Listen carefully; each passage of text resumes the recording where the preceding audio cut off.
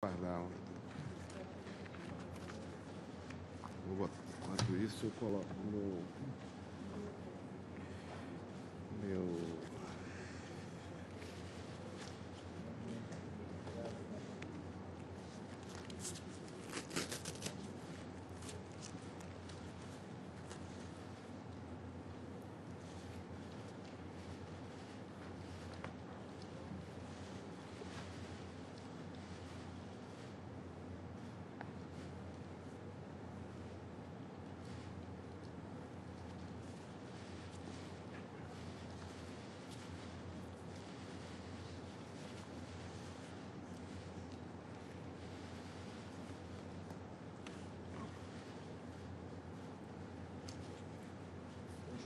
14 vagas 14.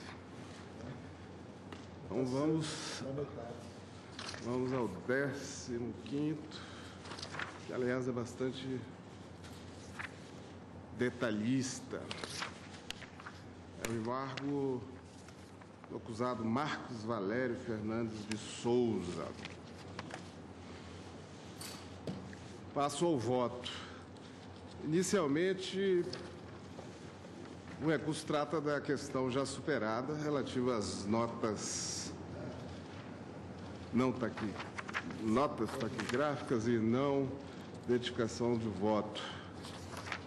Em seguida, trata da questão relativa ao desmembramento do processo, também já, já decidida.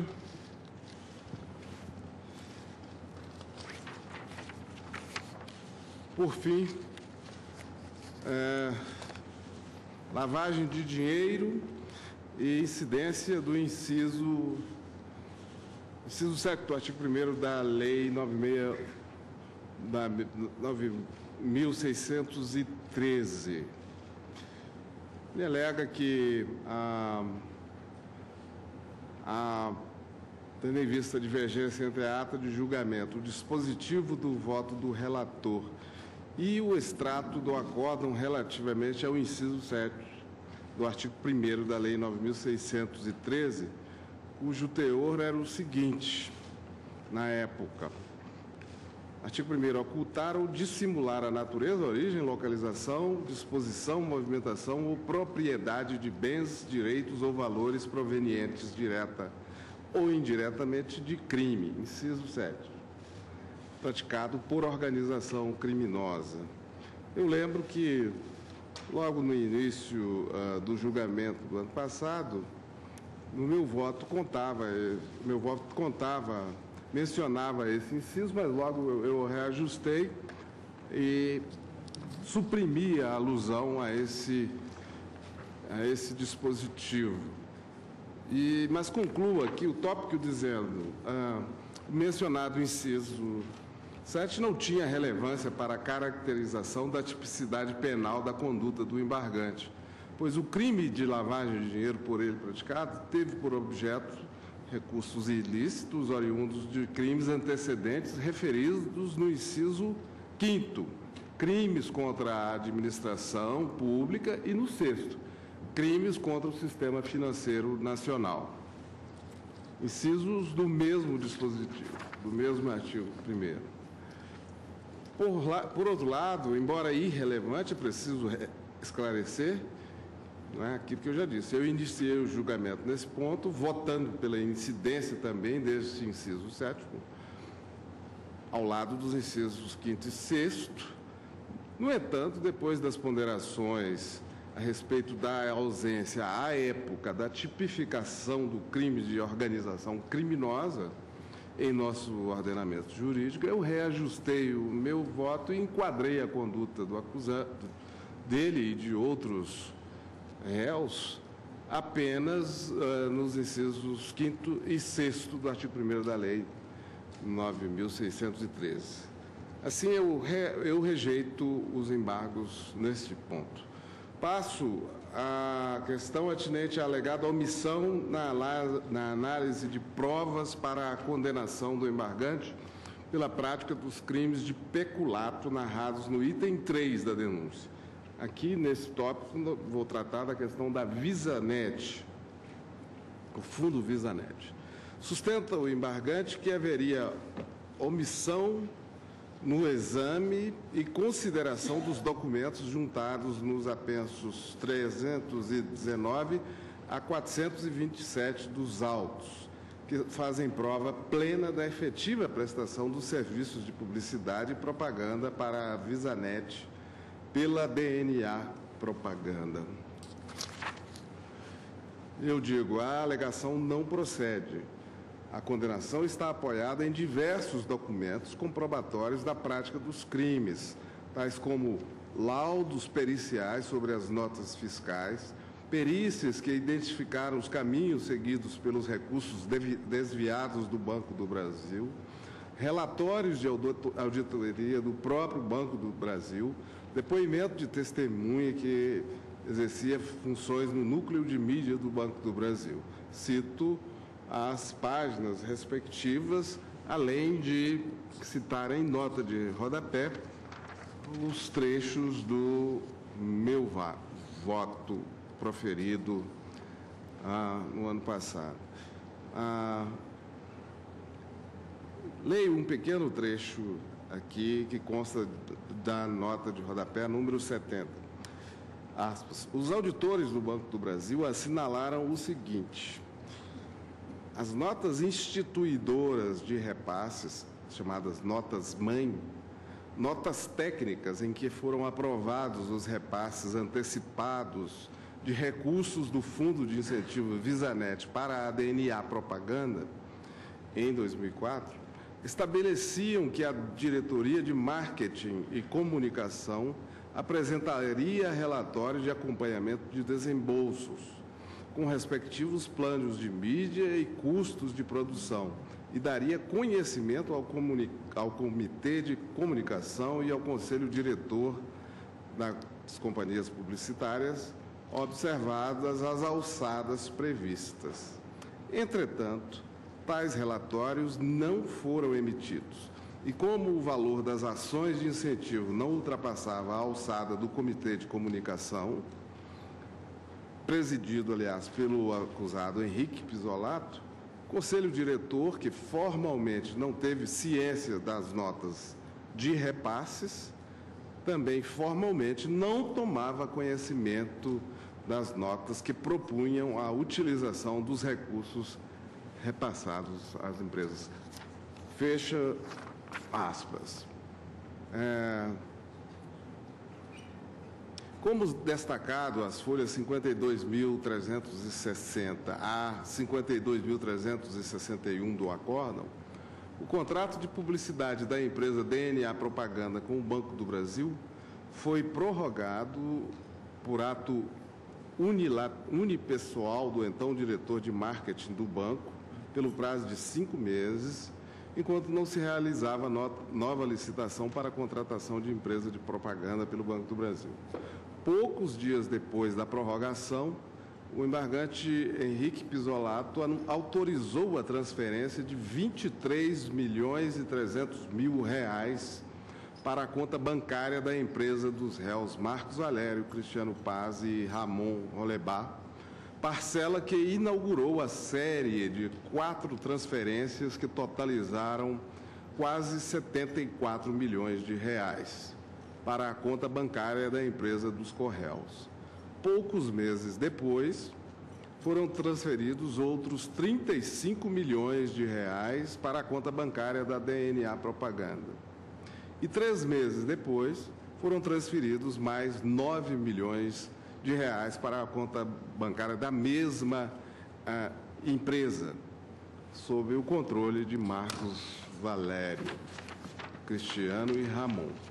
Como salientado no acordo embargado, aspas, é de fato que também constatou o órgão de auditoria interna do Banco do Brasil, o qual, em 22 de, de junho de 2004, já havia detectado ilicitudes no repasse daqueles recursos, que totalizaram antecipações à DNA Propaganda no montante de R$ 73 milhões 851.536 reais. Fecha aspas, 50, folha 52.353. esses números devidamente documentados nos autos, senhores ministros, me levam a pensar como é que certas pluma, pluma agage que existem no Brasil têm a coragem de afirmar que não havia provas nos autos dessa ação penal. Só esses, é, a documentação relativa a essa transferência ilegal de quase 74 milhões, de maneira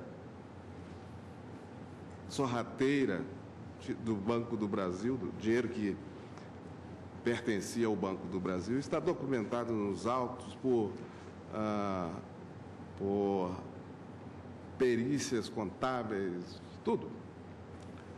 Não é? O acórdão foi exaustivo na análise de todo o acervo probatório.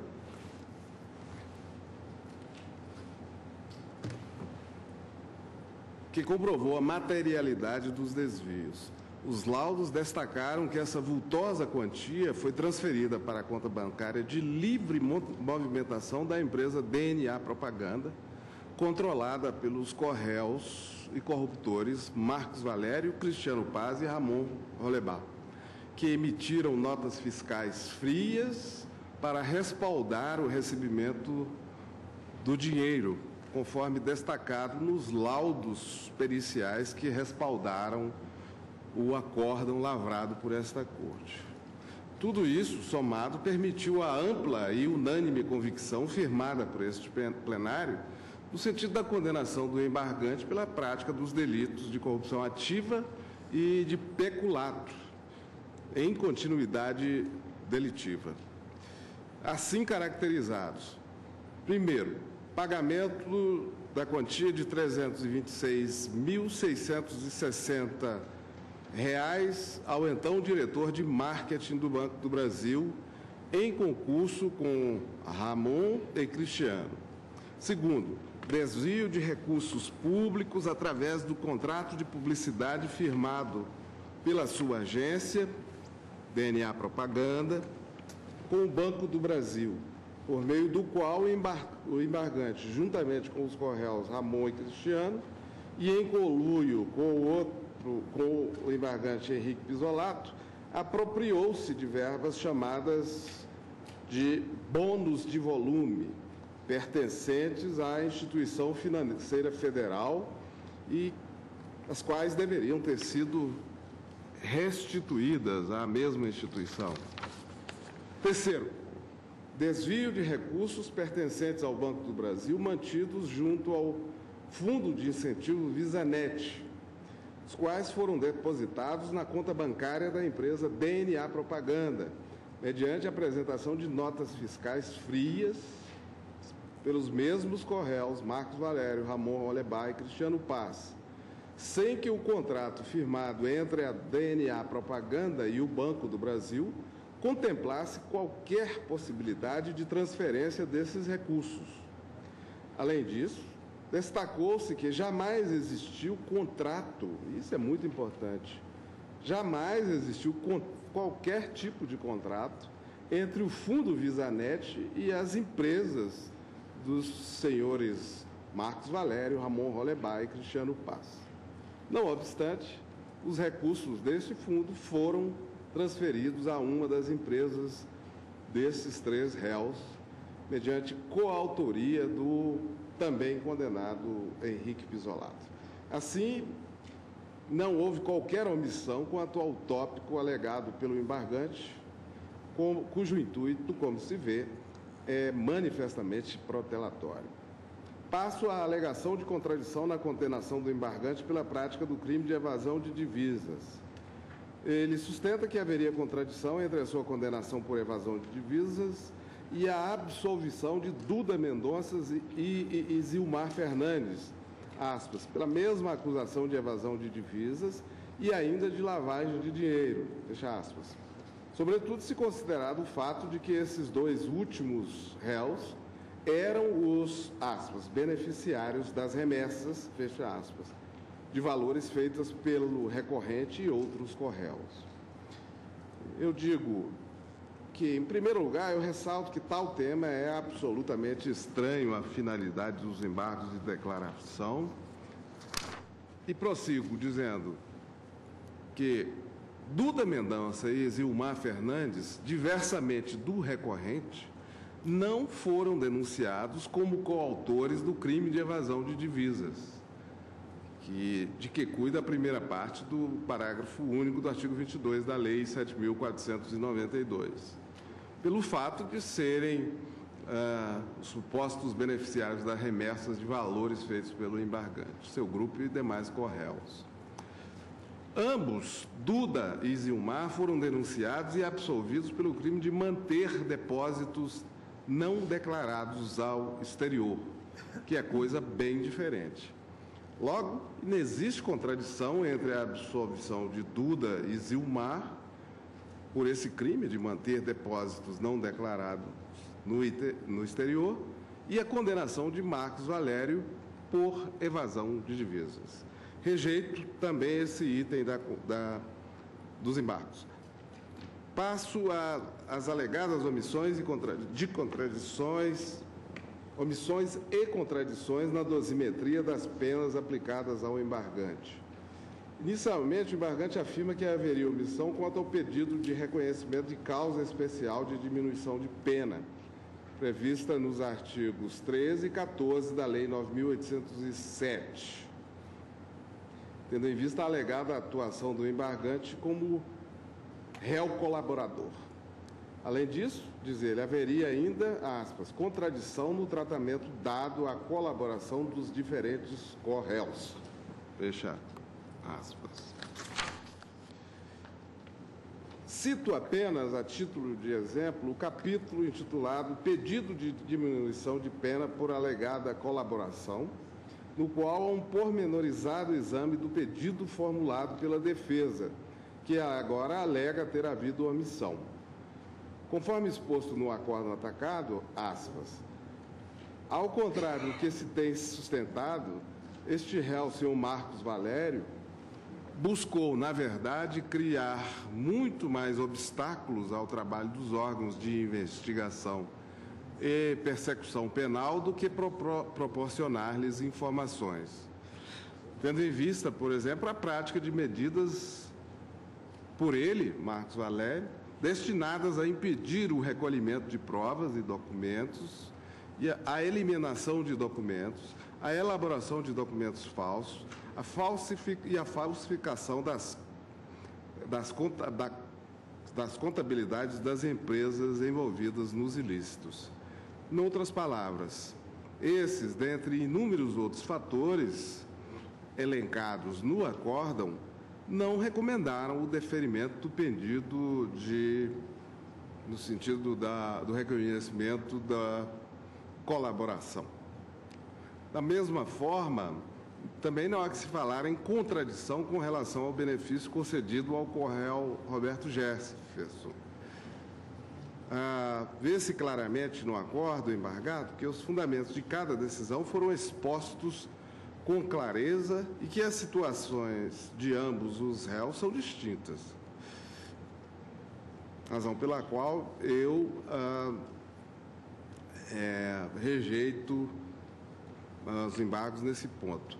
Ainda segundo o embargante, haveria contradição em relação à aplicação da circunstância agravante é, estabelecida no artigo 62, inciso 1 do Código Penal, cujo teor é o seguinte: agravantes no, no caso de concurso de pessoas, artigo 62. A pena será ainda agravada em relação ao agente que, primeiro, promove ou organiza a cooperação no crime ou dirige a atividade dos demais agentes. De acordo com o embargante, o acordo embargado, depois de considerar que ele tinha o mesmo nível hierárquico de Ramon e de Cristiano, não poderia afirmar que o primeiro, aspas, dirigia a atividade dos demais sócios. Sustenta ainda que tal agravante deveria incidir em relação a um só dos crimes pelos quais foi condenado, pleiteando que o seja apenas no crime de formação de quadrilha. Do contrário, ocorreria bis in idem, segundo a sua visão.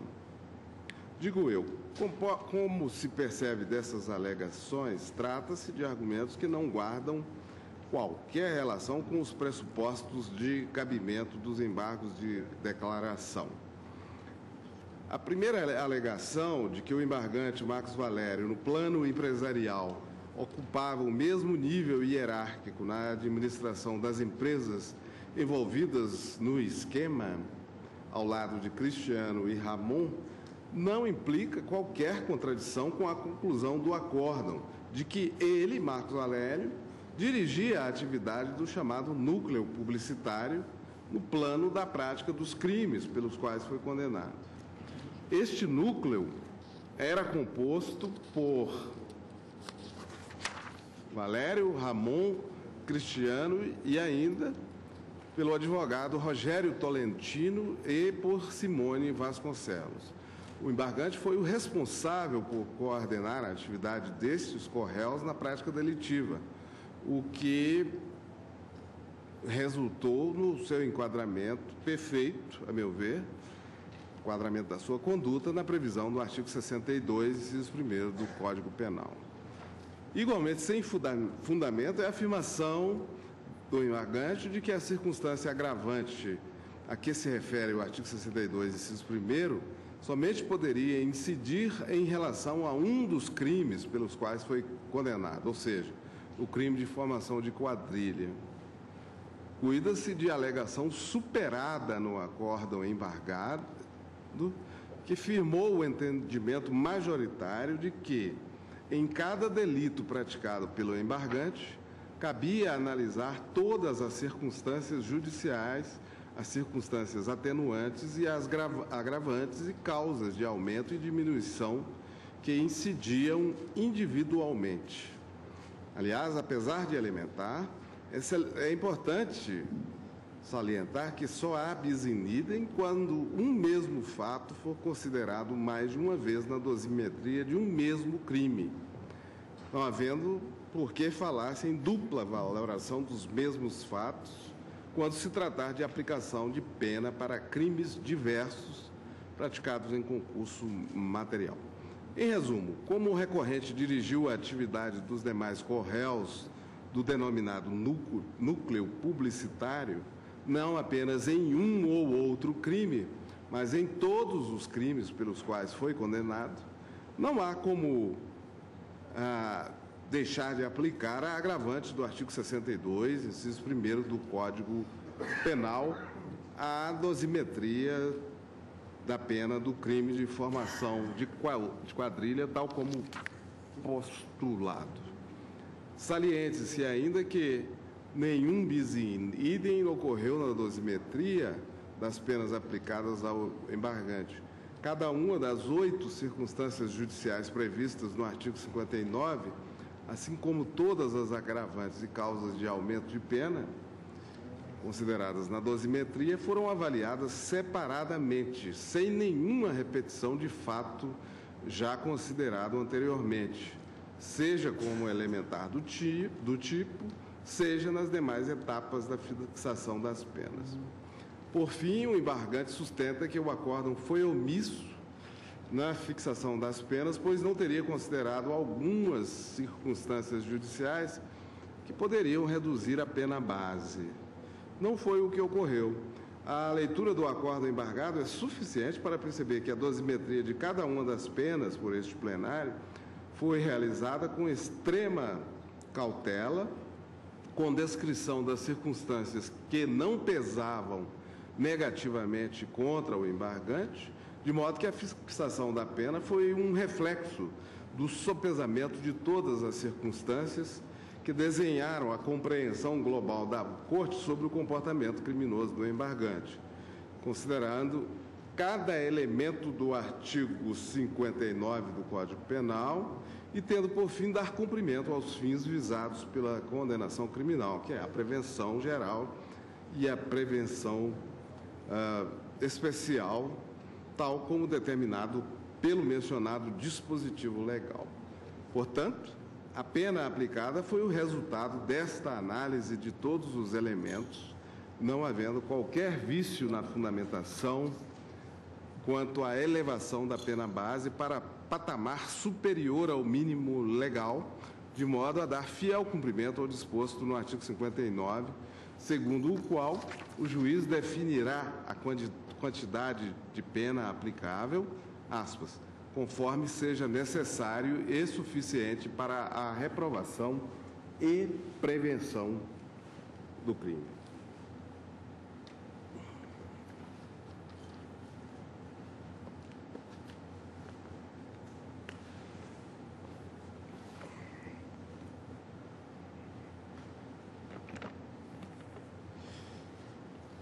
Pelos motivos expressos de modo claro no acordo embargado, procedeu-se à definição da pena base, de modo a fixar a reprimenda no patamar, no patamar adequado a cada réu.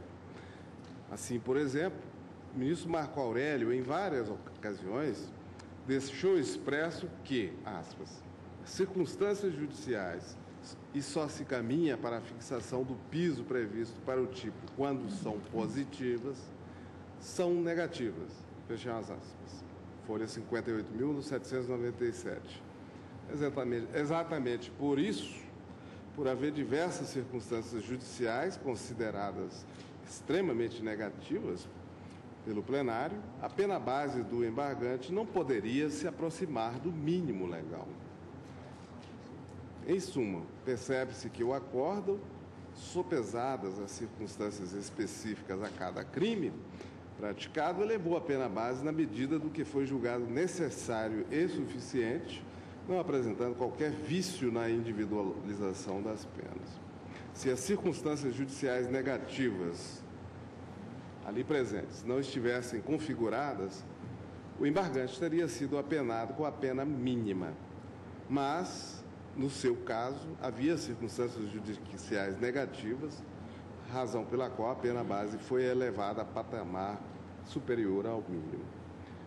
O embargante sustenta ainda relativamente à dosimetria das penas que lhe foram aplicadas, que haveria contradição no fato de a continuidade delitiva ter sido, por um lado, aceita entre os dois peculatos narrados nos itens 3.2 e 3.3, entre os nove crimes de, de corrupção ativa pelos quais foi condenado no item 6, entre as dezenas de crimes de lavagem de dinheiro narrados no item 4 e, por fim, entre os vários crimes de evasão de divisa, divisas narrados no item 8. Se, por um lado, o acordo recusou a aplicação da regra da continuidade delitiva entre todos os, aspas, crimes contra a administração pública, dois peculatos e três corrupções ativas, além dessa contradição, diz que teria havido também omissão do acordo no que diz respeito à proposta formulada pela defesa neste item.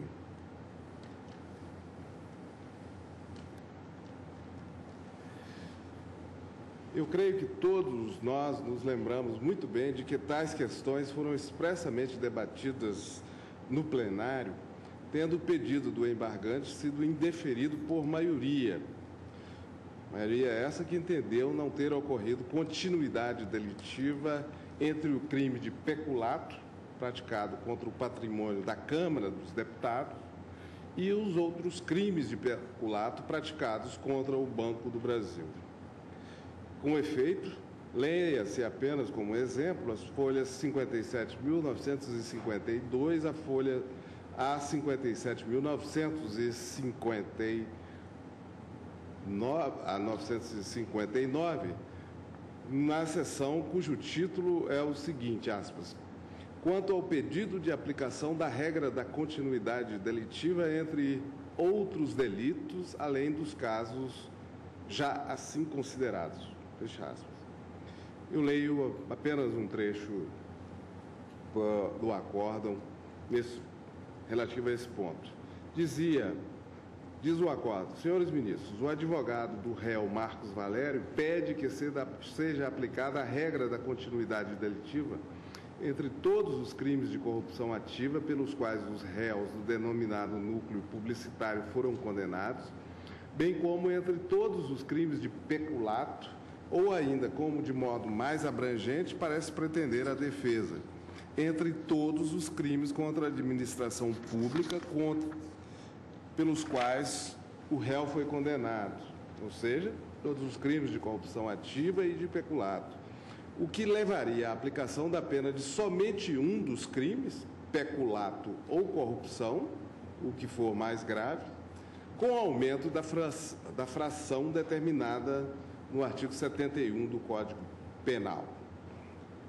O pedido, a meu sentir, pretende subitamente alterar toda a dogmática penal, a doutrina e a jurisprudência existentes sobre o tema da continuidade delitiva os quais conferem segurança jurídica e substância conceitual a esse instituto do direito penal, buscando de modo mais benigno réus determinados, neste caso específico julgado por esta Corte.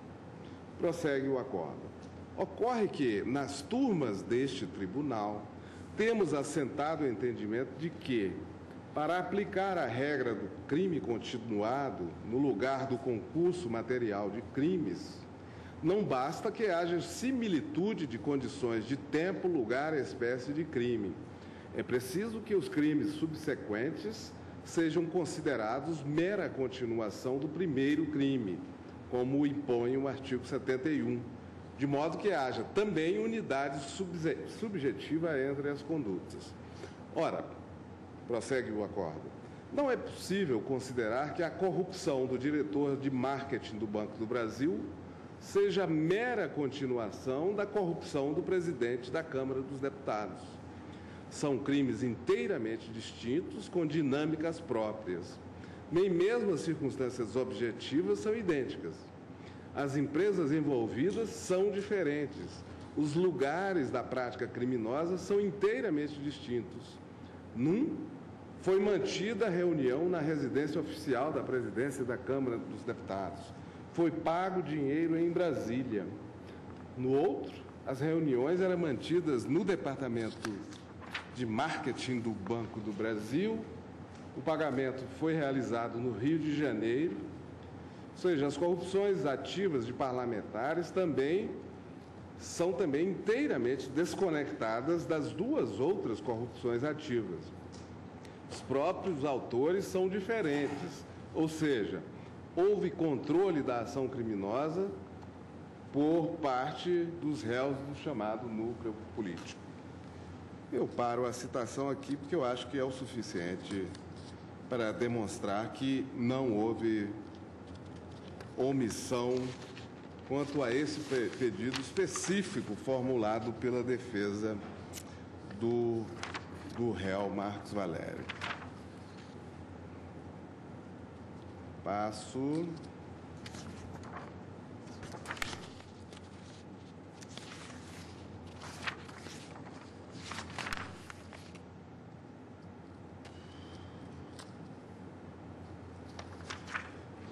A citação é bastante longa, eu pretendo encurtar.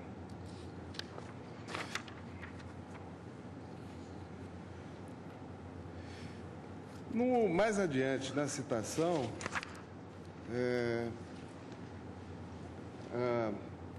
eu disse o seguinte, eu cito um trecho que diz o seguinte, aliás, se fôssemos levar à risca a jurisprudência deste tribunal, muitos dos crimes que consideramos em continuidade delitiva teriam de ser considerados em concurso material tal como pleiteou o Ministério Público Federal, tanto na denúncia como nas alegações finais. É que as duas turmas têm assentado o entendimento de que o intervalo de mais de 30 dias entre as práticas delitivas interrompe o nexo de continuidade, independentemente de estarem presentes os elementos do artigo 71 do Código Penal. Assim, por exemplo, O réu Valdemar Costa Neto recebeu recursos a partir de fevereiro de 2003, enquanto o réu Bispo Rodrigues recebeu somente em dezembro de 2003. Nesse sentido, cito, cito o seguinte precedente da lavra do eminente ministro Luiz Fux, aspas, penal, habeas corpus, dois crimes de roubo praticados com intervalo de 45 dias, continuidade delitiva, inexistência, habitualidade ou reiteração criminosa. Primeiro, o artigo 71 do Código Penal arrola os requisitos necessários à, caracteriza à caracterização do crime continuado, a saber, a mais de uma ação ou omissão, prática de dois ou mais crimes da mesma espécie, condição, condições de tempo, lugar, maneira de execução e outras semelhantes, os crimes subsequentes devem ser havidos como continuação do primeiro. Segundo, em caso, o paciente restou condenado por dois crimes de roubo. O primeiro praticado em 20 de dezembro de 2004 e o segundo em 5 de fevereiro de 2005, perfazendo entre os delitos um intervalo de 45 dias.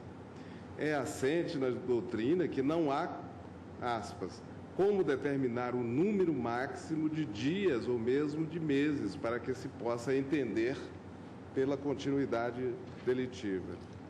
4.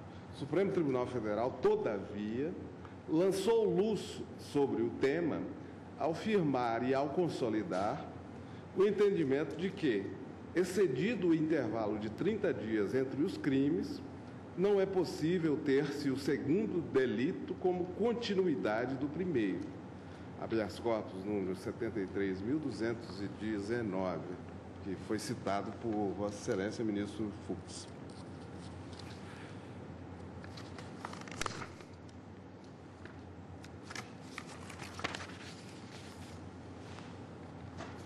E prosseguir o voto.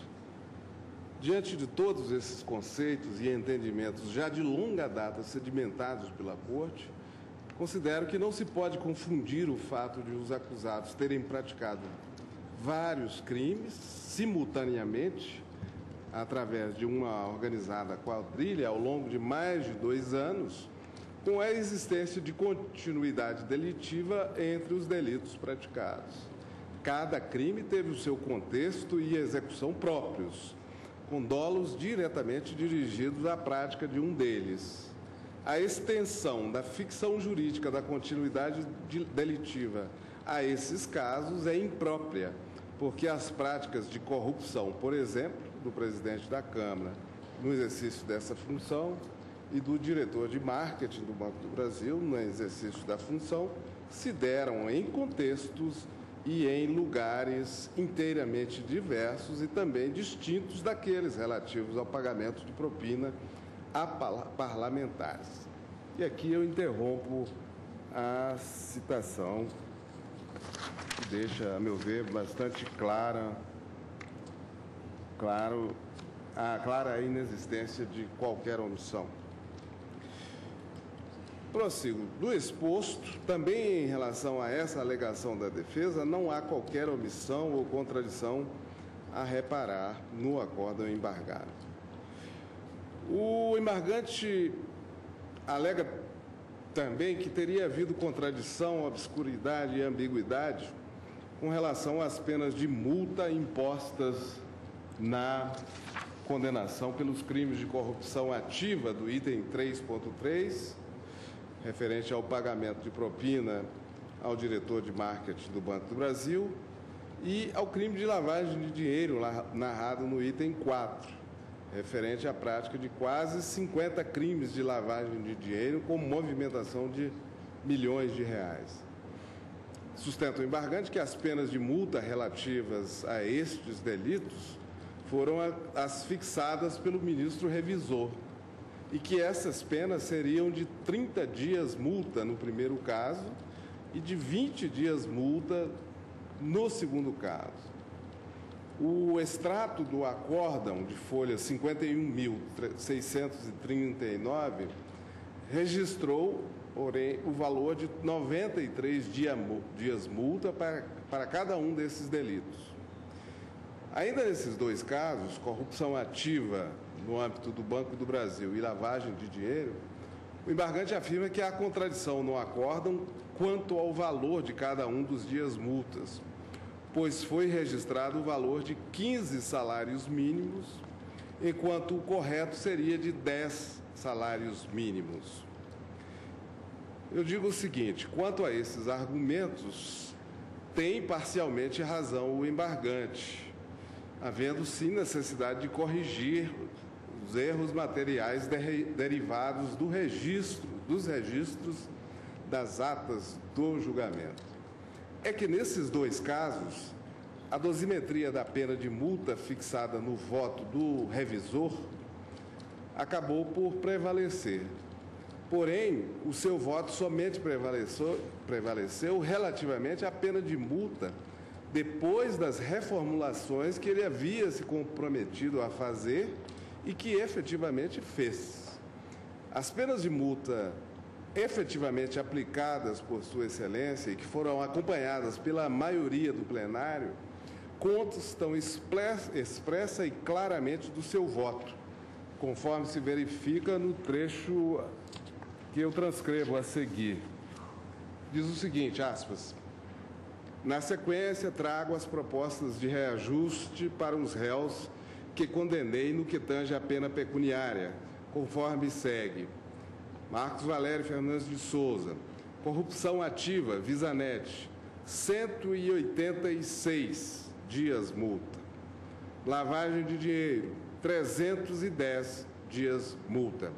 Fecha aspas, fecham-se as aspas. O mesmo ocorreu quanto ao valor de de cada dia multa, que o eminente revisor, após as reformulações, fixou em 10 salários mínimos para o recorrente e não em 15 salários mínimos, como constou do acordo. Disse o revisor, aspas, Senhor presidente, não teria nenhuma objeção em, desde logo, diminuir para 10 salários mínimos, sem prejuízo de, com relação a alguns réus, colocar-me abaixo deste patamar. Mas então reajusto para ficarmos uniformes no patamar de 10 salários mínimos. Fecha aspas. Folha 59.642. Eu então proponho uma correção desse erro material verificado no extrato do acórdão, a fim de que conste para o crime de corrupção ativa, item 3.3 a pena pecuniária de 160, 186 dias multa, no valor de 10 salários mínimos cada, e para o delito de para o delito de lavagem de dinheiro, item 4, a pena pecuniária de 300 e, 310 dias multa, no valor de 10 salários mínimos, tal como proposto pelo relator durante o julgamento.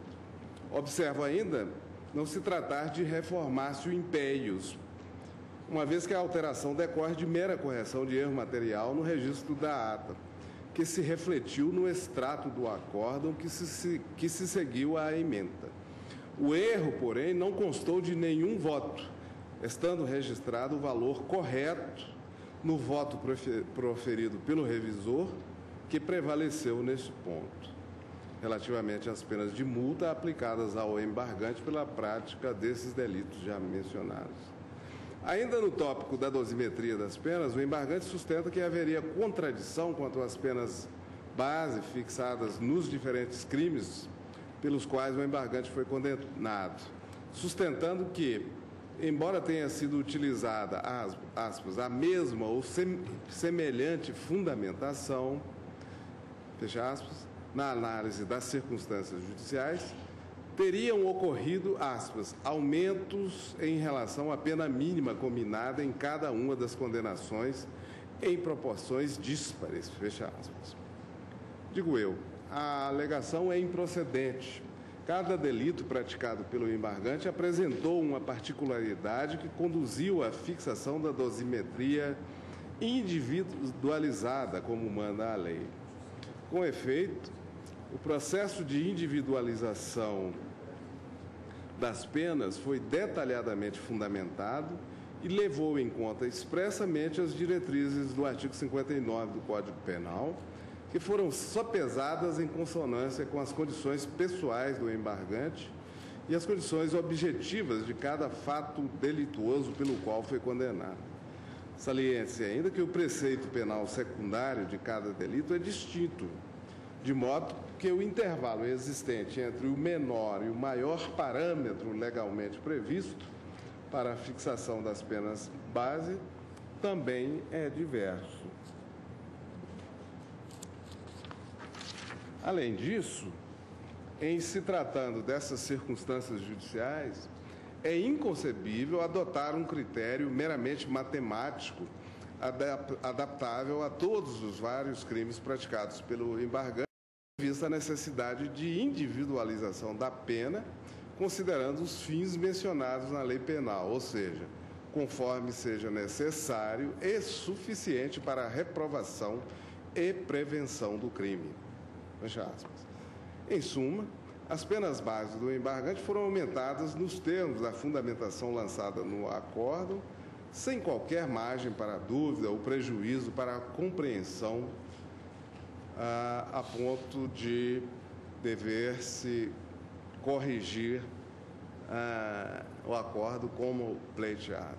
Por fim, o embargante sustenta que teria havido omissão no acordo porque não constou, aspas, a totalização da pena definitiva imposta em razão do concurso material. Fecha aspas. Tal fato, no, no entanto, é absolutamente irrelevante a meu ver. O extrato do acórdão detalha todas as penas impostas ao embargante para cada um dos crimes pelos quais ele foi condenado.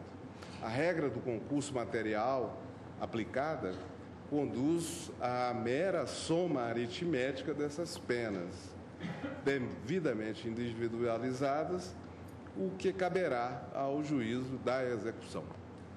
Assim, não há qualquer omissão a esse título. Por todo o exposto, senhores ministros, eu voto pelo acolhimento parcial dos embargos de declaração opostos por Marcos Valério, sem efeito modificativo, para corrigir os seguintes erros materiais. Primeiro, excluir do trecho final do meu voto, relativamente ao item 4 da denúncia, a referência aos incisos 7, aos incisos 7 do artigo 1 da Lei 9.613 de 98. Segundo, corrigir o extrato do acórdão, folha 51.639, no ponto em que constou a pena de multa aplicada pelo revisor ao crime de corrupção ativa narrado no item 3.3 da denúncia, relativo ao embargante, devendo ser registrada a pena pecuniária de 186 dias multa, ao invés de 93 dias multa, e corrigir o valor do dia multa de 15 para 10 salários mínimos cada, nos termos do voto do revisor.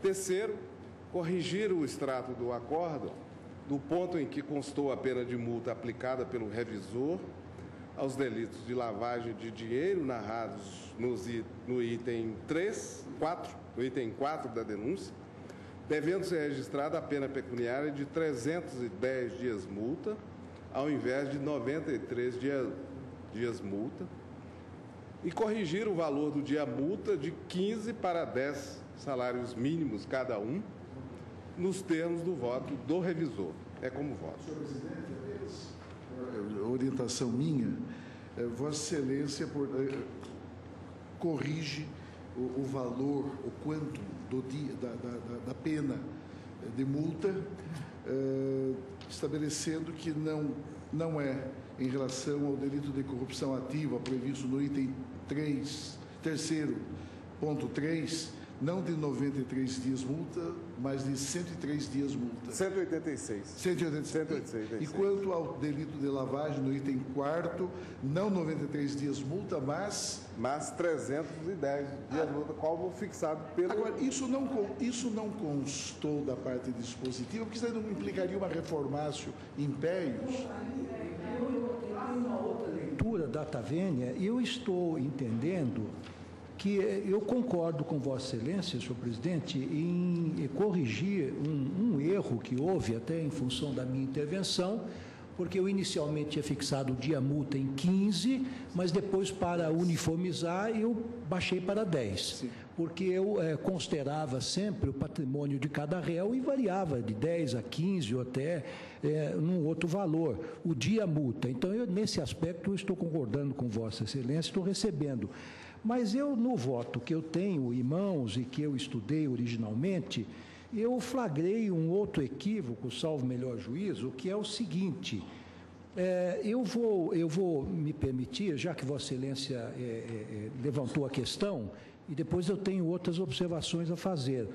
É, essas questões são muito delicadas, porque nós estamos comparando o voto com a ata, com, enfim, com o dispositivo, e pode ser que haja algum equívoco no julgamento muito longo. Mas aqui, sim. Sim. A mim me parece que o que é fundamental aqui é verificar o que constou da parte dispositiva. Do voto é, do revisor. Foi o voto do revisor sim, não, que prevaleceu. Eu, eu, digo, da proclamação. O que é que constou da parte dispositiva? Porque, dependendo daquilo que haja dela constado, hum. poderá eventualmente essa alteração resultar mais gravosa num recurso exclusivo do réu, do réu. o que implicaria. Eu estou recusando isso, inclusive, num, num outro embargo. Ao postulado Não, é, do réu que veda reformar réu... impérios. Bom, de qualquer maneira, é uma contradição que nós precisamos sanar. É, então, é, se nós decidimos que prevalece o dispositivo e não a ata, Sim, não, é um critério e eu acho que é importante que nós esclareçamos qual é o critério que nós Mas, estamos.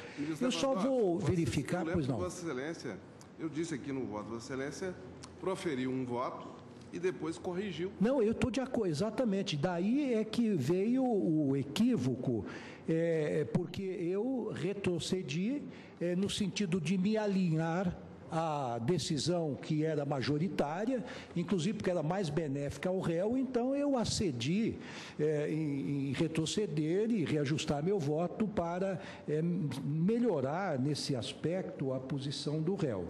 É, bem, eu vou só ler um pequeno trecho do que eu considerei aqui um, um equívoco também e que talvez possamos corrigir. Eu estou dizendo que o embargante afirma que no dispositivo do acordo embargado consta que foi condenado a uma pena de 93 dias multa pelo cometimento do delito de corrupção ativa, 93 pela corrupção ativa.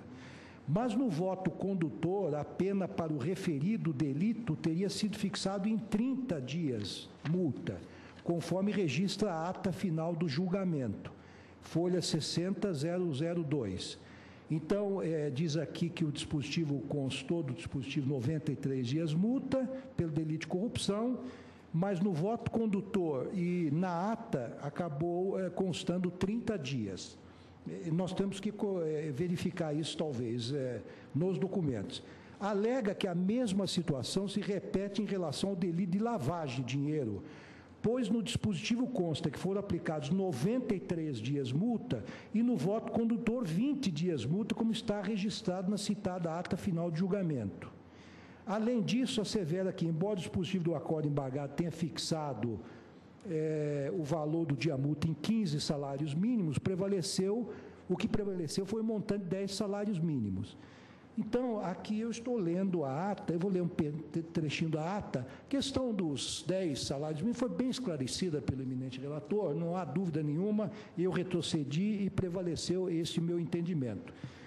Então, consta da ata de folha 52.447 a 58.447 eh, a 58.470, que o seguinte, entre aspas, prosseguindo no julgamento em relação ao réu Marcos Valério Fernandes de Souza, inicialmente seu advogado, doutor Marcelo Leonardo, assomou a tribuna e requereu que o agravante que agravante do artigo 62, inciso 1 do Código Penal, fosse considerada apenas à luz do tipo, etc, etc, prossigo e tal. Na sequência, é, pelo cometimento do delito de corrupção ativa, artigo 333 do Código Penal, descrito no item 3.3, C.1 da denúncia, o tribunal fixou a pena em três anos e um mês e dez dias de reclusão e 30 dias multa, no valor de 15 salários mínimos, cada uma nos termos do voto do ministro Ricardo Lewandowski, revisor, vencidos em parte, ministro Pelu, Joaquim Barbosa e Luiz Fux, Marco Aurélio, presidente. Pelo cometimento, então, aqui fixou a pena de três anos, um ano e, e, e dez dias de reclusão e 30 dias multa consta da ata. Pelo cometimento dele de lavagem de dinheiro, artigo 1 incisos 5 e 6 da Lei 9.613, descrito no item 4 da denúncia, após o voto do relator fixando a pena em 11 anos e 8 meses de reclusão e 291 dias multa no valor de 10 salários mínimos cada, no que for acompanhado pelos ministros Luiz Fux, Gilmar Mendes, Marco Aurélio Celso de Mello, o voto do, eh, e o voto do revisor que fixava a pena em 6 anos, 2 meses e 20 dias de reclusão e 20 dias multa, no valor de 15 salários mínimos, que foi acompanhado pelos ministros Rosa Weber, Dias Toff, Carmen Lúcia e presidente, o tribunal, em, par, em face do empate verificado na votação da dosimetria, fixou-a nos termos do voto do revisor. Do revisor. Então, estou dizendo aqui o seguinte: como se observa, em relação à pena pecuniária, prevaleceu, a meu ver, salvo melhor juiz, a condenação em 30 dias multa para o crime de corrupção ativa, item 3 em romano, ponto 3, em arábico, e de 20 dias multa para o delito de lavagem de dinheiro, no valor de 15 salários mínimos cada. Na sessão do dia tal, contudo, reajustei. Então, é, pelo meu voto, eu estaria acolhendo, saltando aqui os pormenores, embargos para, assentando a contradição apontada, esclarecer que o quanto fixado é, para a pena pecuniária no que tange ao crime de corrupção ativa foi de 30 dias multa e para o delito de lavar de dinheiro de 20 dias multa, ambos no valor de, do dia multa eh, de 10 salários mínimos. Então, é exatamente isso que prevaleceu o voto de Vossa Excelência, 30 dias multa.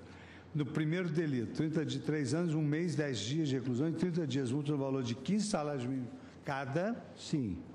Nos termos do voto do ministro Ricardo Lewandowski, revisor, vencidos em parte depois do empate esse, e, e o delito de lavagem de dinheiro, 11 anos e 8 meses de reclusão e 291 dias multa no valor de 10 salários mínimos cada. Sim.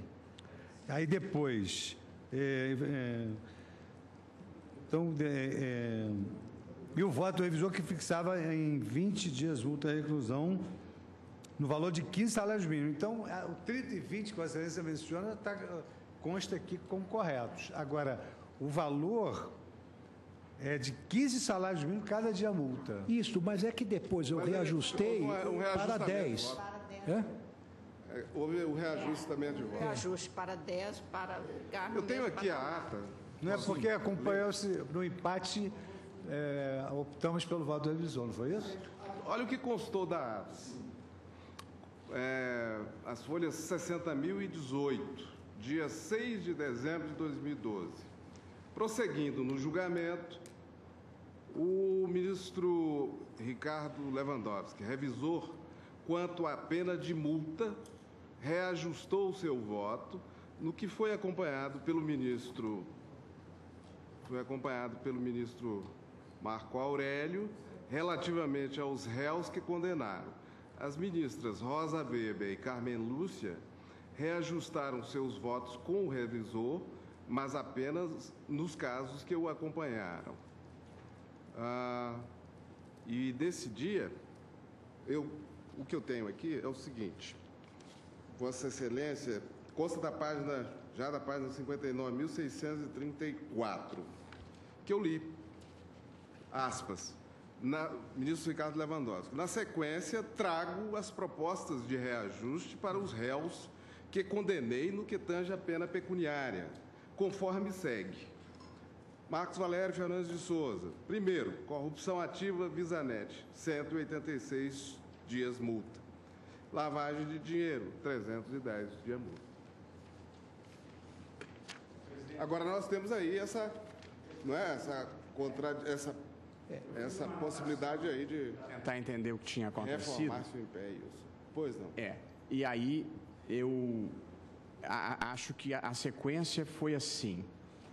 É, para o crime de corrupção ativa, prevaleceu inicialmente o voto do revisor, ministro Lewandowski, que fixou a quantia em 23 dias multa. Essa é a primeira manifestação do revisor. Depois, o ministro revisor, na sessão de 6 do 12, reajustou o seu voto para fixar a pena em 186 dias multa. E do acórdão constou 93, 93. dias multa. Que eu acredito que era o que constava E ainda houve uma a manifestação do ministro Dias Toffoli aderindo à posição do revisor, mas com referência também a 93. Então tinha a posição original do revisor era 30, passou para 186 e por força do erro material, o ministro Dias Toffoli aderiu ao 93. Então nós, o que eu acho é que se prevaleceu a posição do revisor nessa matéria, ele podia dar a interpretação autêntica de qual é a sua posição. Agora, agora eu, eu, eu, eu, se Vossa Excelência me permite, é, trata-se de um erro material que pode ser corrigido de ofício a qualquer momento. Eu não, não, não, não teria que ser não. Eu estou sugerindo uma, uma, uma, uma alteração, o recebendo do, dos embargos no sentido de favorecer o réu. Quer dizer, é porque, e pelo menos aqui na questão do, do, da, da segundo, do segundo delito, houve um empate e o empate favorece o réu, no sentido dos 20 Vossa dias. Excelência, Se- se, se não, se- se não me engano, ministro Lewandowski, Vossa Excelência reajustou para não criar uma discrepância em relação aos dois corréus sócios de Marcos Senhor relator, Sim. se Vossa Excelência pudesse, ou então o eminente revisor, qualquer deles pudesse me, explicar, me explicitar o que efetivamente constou, apenas para efe- efeito de encaminhamento do meu voto, da parte dispositiva. Na- Não, eu não tenho a parte. Isso. Mesmo que alguém achasse que é 186, eu acho que já não dá mais. O Supremo Tribunal Federal tem vários precedentes, muitos dos quais firmados a partir de aplicação, muitas vezes equivocada, da lei de crimes hediondos. Eu me lembro perfeitamente que um determinado tribunal, eh, em recurso exclusivo da defesa, entendeu que, como o juiz se omitira na definição do regime de execução da pena, deveria prevalecer o regime penal exclusivamente fechado. E o Supremo afirmou que isso não poderia ocorrer, ainda que tecnicamente equivocada a sentença, se o Ministério Público não recorreu, quer dizer, operou-se o trânsito em julgado em relação ao MP. E, e mesmo que se cuidasse, às vezes, de um simples erro material, é, é, o fato é que a alteração resultante dessa correção resultaria claramente gravosa em recurso exclusivo da defesa.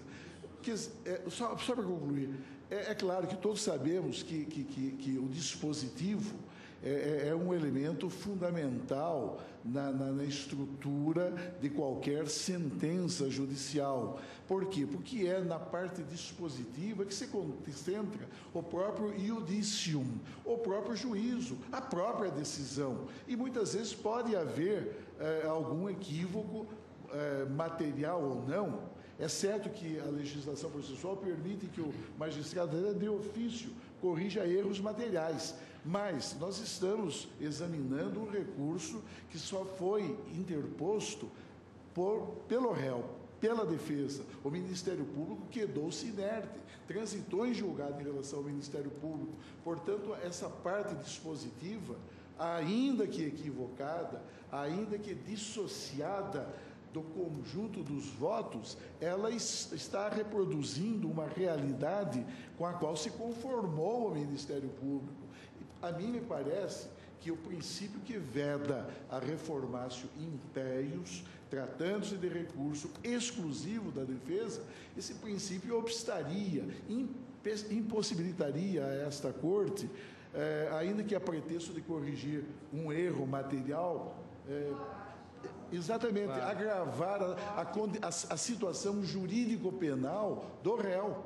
É, é, não é? Eu estou defendendo a mesma tese em recursos. Eu só queria citar aqui um precedente. Recursos que virão. Sim, sim. Há um recurso em que o réu pede, ele pede a correção e essa correção resultaria, resultaria em aumento de pena. E eu estou rejeitando. Nós ainda não julgamos. presidente da primeira turma da relatoria do ministro Peluso. Vou fazer a leitura da emenda e a parte final dela é explícita em relação à parte dispositiva. Sentença penal, capítulo decisório. Condenação, pena privativa de liberdade, reclusão, fixação. Soma dos fatores considerados na dosimetria. Erro de cálculo. Estipulação final da pena inferior à devida. Trânsito em julgado para o Ministério Público. Recurso de apelação da defesa. Improvimento. Acordam que, no entanto, aumenta de ofício a pena a título de correção de erro material. Inadmissibilidade. Ofensa à proibição da reformácio impégios.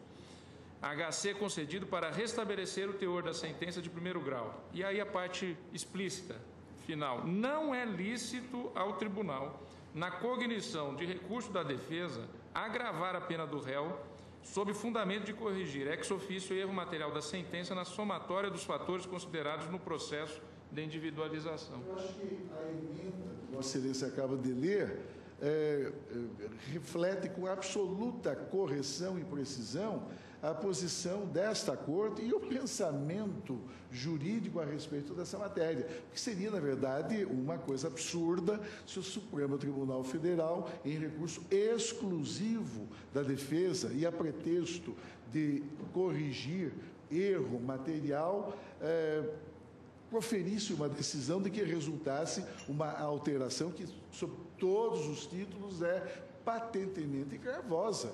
Eh, E, e- e, eh, na verdade, o Ministério Público é quem deveria, se fosse o caso, interpor o recurso pertinente para que isso se corrigisse. Como o Ministério Público não fez, operou-se em relação a ele a autoridade da coisa julgada penal, e coisa julgada penal em sentido material. A mim me parece que é absolutamente irreformável nesse ponto aquilo que se contém, não nos votos, não na motivação, mas sim na parte dispositiva. Tanto que é importante que o próprio Código de Na Processo minha Civil licença, é a parte dispositiva que traz esse voto, essa pena mais alta.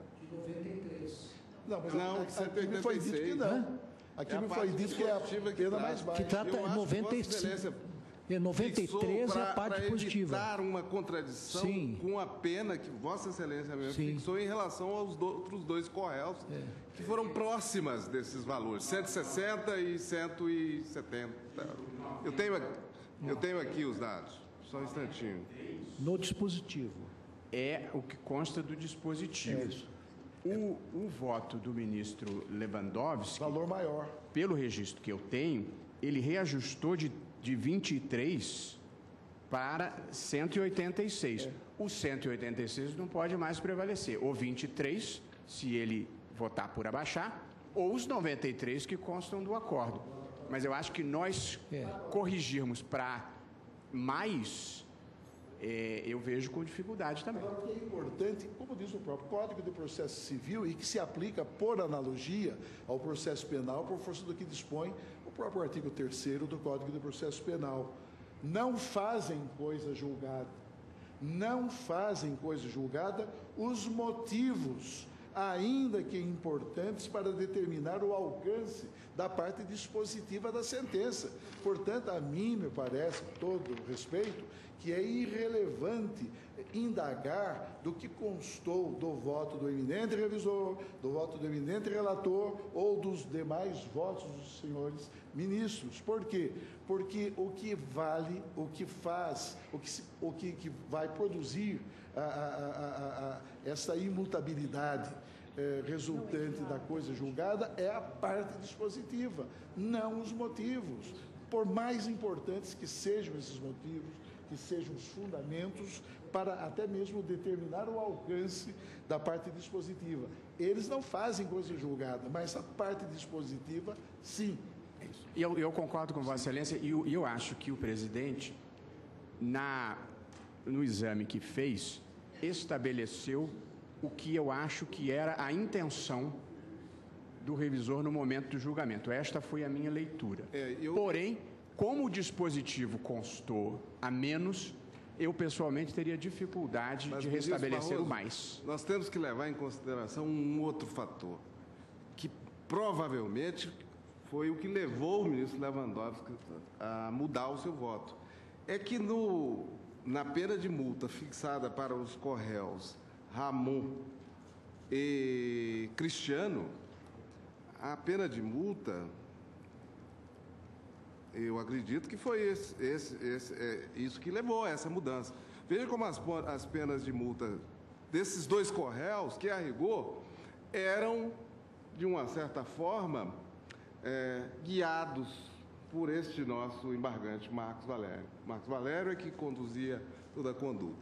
A conduta dos três era, digamos assim, o, né, o, Olha, vejam as penas que prevaleceram para esses corréus.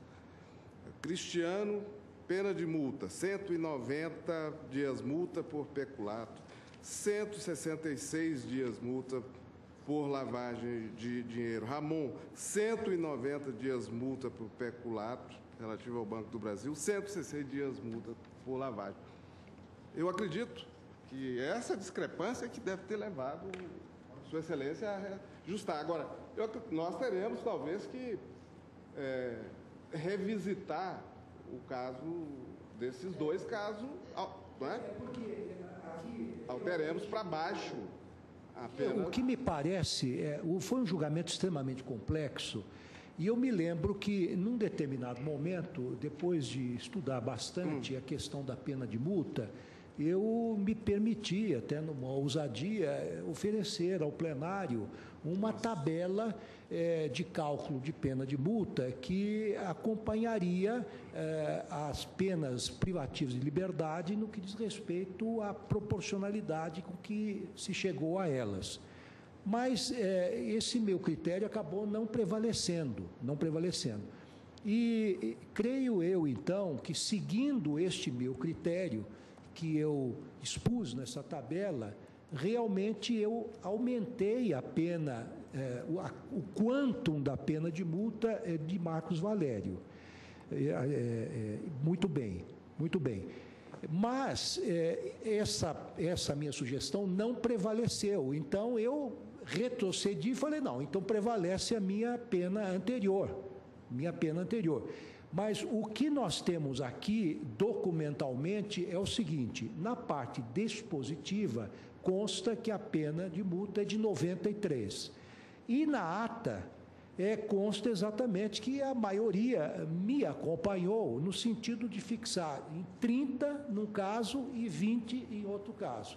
Agora nós temos que decidir exatamente isso. Se prevalece o dispositivo, é exatamente. O, não, é, é, o embargante pede, diz que há uma contradição entre a parte dispositiva, onde constou 93 dias multa, e a, e a ata de julgamento, em que consta que depois de um debate em plenário, a maioria acompanhou-me no sentido de fixar a pena para corrupção ativa em 30 dias multa e 15, é, é, é, 15 salários mínimos cada dia multa, e no caso da lavagem de dinheiro, em 20 dias multa. Pois é.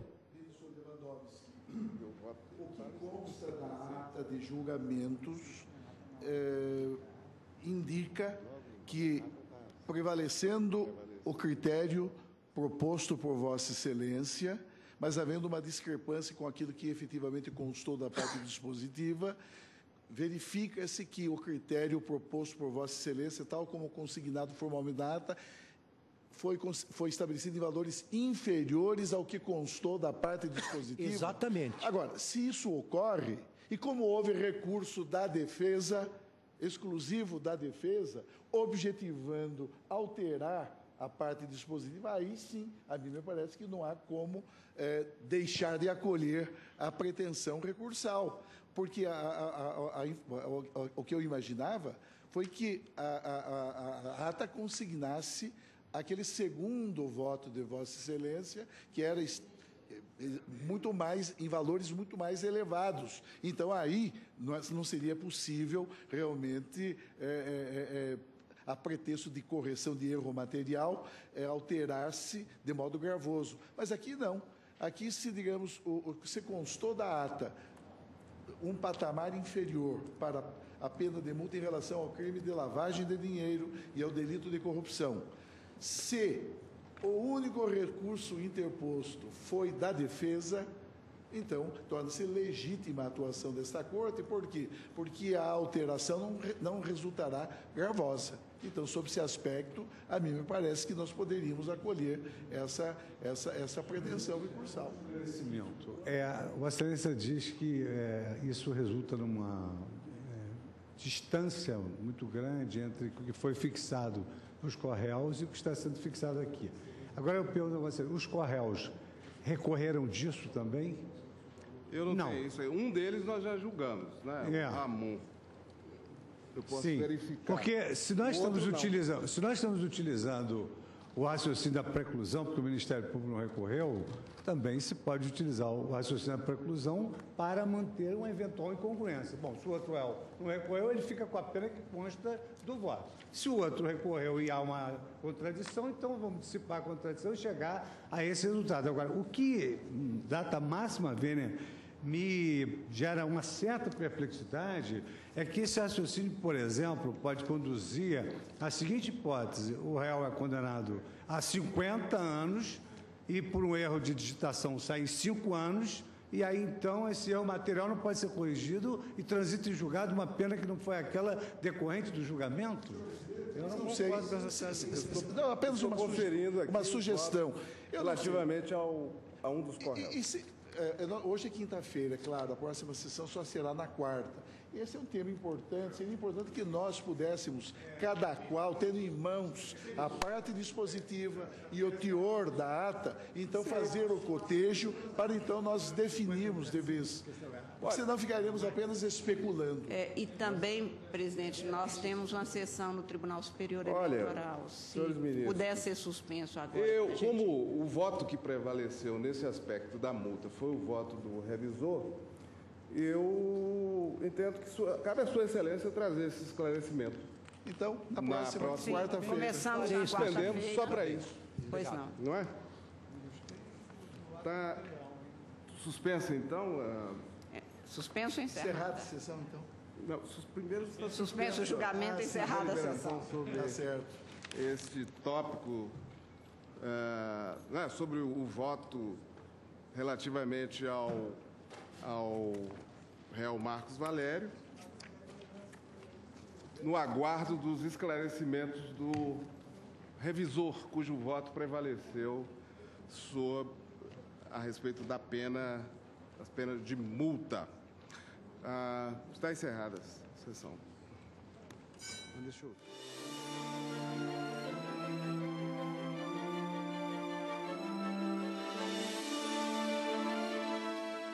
Encerrada esta sessão, também fica por aqui esta edição do Direto do Plenário ao vivo.